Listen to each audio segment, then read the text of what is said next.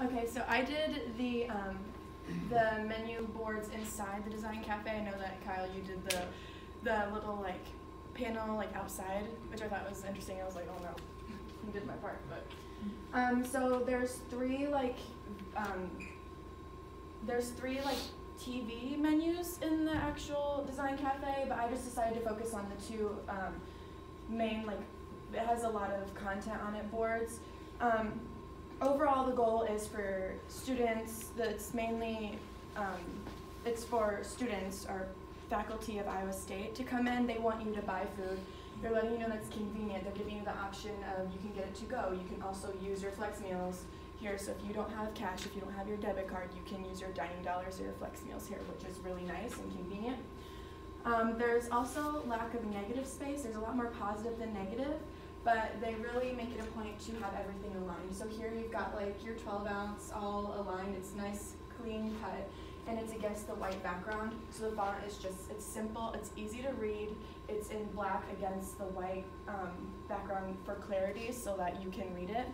And it's also going to contrast with the top.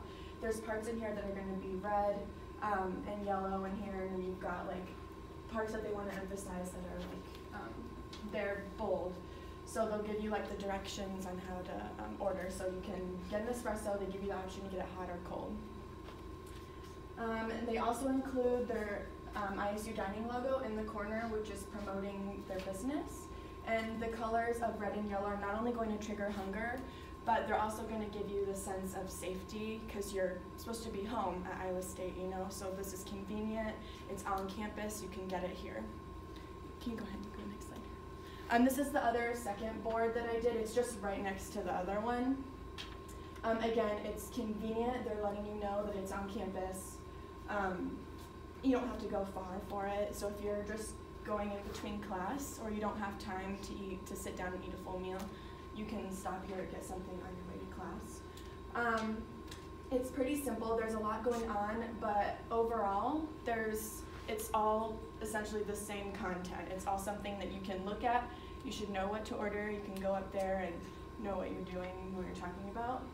And I also want to make note, I don't know if you guys can see this pretty clear, but they have a quote down here in the bottom that says we've poached all the best chefs. And the term poached means it's just it's in the culinary world as a term to cook eggs. I've never poached an egg in my life. I've heard about it, I've seen it. Yeah, I mean, it looks a little difficult because I don't know, just I don't do that. So, yeah, but I think they're trying to emphasize a sense of trust. Like, you, you can trust that we have the best chefs, you know, because we know how to poach eggs, so we should know how to make good quality food and good quality drinks for you here.